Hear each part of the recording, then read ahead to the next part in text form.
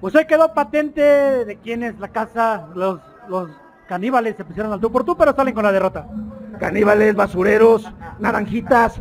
¿Qué quieren? ¿Qué vienen? Ya se enfrentaron con nosotros. Tuvieron la fortuna de enfrentarse con lo mejor de los independientes.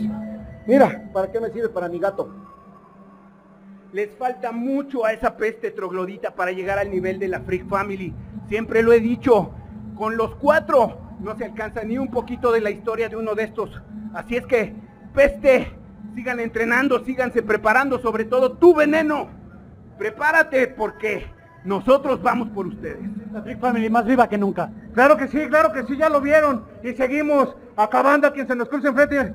Mira, vamos ganando terreno, que tres campeonatos traigo. Pero ¿sabes qué? Eso no me importa. Me importa pisar y deshacer a toda la facción que venga.